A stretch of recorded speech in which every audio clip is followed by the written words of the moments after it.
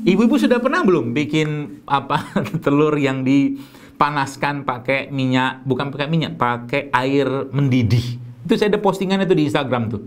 Jadi pakai centong, centong itu saya olesin katakanlah minyak kelapa gitu ya. Lalu saya masukkan telurnya di situ. Telurnya pun saya biasanya nggak nggak pakai telur sembarangan. Telur sehat kan surang boleh boleh banyak tuh telur sehat ya, yang bebas uh, E. coli, bebas salmonella, bebas antibiotik gitu kan. Nah, saya taruh situ tuh, gitu. tapi memang telur memang butuh kesabaran yang luar biasa. ya.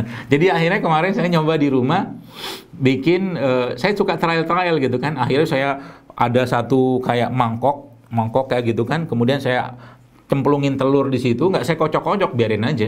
Saya kasih garam, saya kasih lada hitam, saya kasih uh, kaldu sapi, Udah biar aja gitu. Terus saya kukus telurnya. Ternyata Masya Allah enaknya luar biasa. Enak banget. Kaldu sapi ya. Kan banyak tuh kaldu sapi yang sehat. Bukan kaldu sapi yang yang di pasar-pasar ya. Tapi kaldu sapi yang uh, apa namanya ya. Ya pokoknya organik lah gitu, seperti itu.